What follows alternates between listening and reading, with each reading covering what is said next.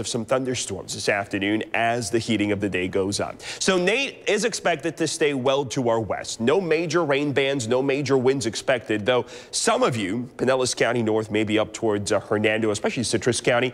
Anytime a big storm rolling into the Gulf, uh, it pushes some water out ahead of it. Tides are already going to be very high this weekend without the storm any additional push in the wind or water category from the storm could cause some minor flooding during high tide. These would be areas that are already kind of set aside to flood your parks, some roads that run around uh, areas uh, with water. Uh, but just be careful out there as we head into the weekend. Uh, that is certainly a possibility. There is Nate. It's now reemerged into the western Caribbean, flaring up again as it's over water. Spent much of yesterday over land. 45 mile an hour storm, pressure back down below 1,000 millibars.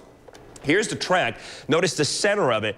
Folks, we are well clear of this thing. 430 miles to the west of Tampa Bay. That's good clearance. Uh, it is expected to become a Category 1 hurricane Sunday morning, 1 a.m., so after midnight, Saturday night into Sunday.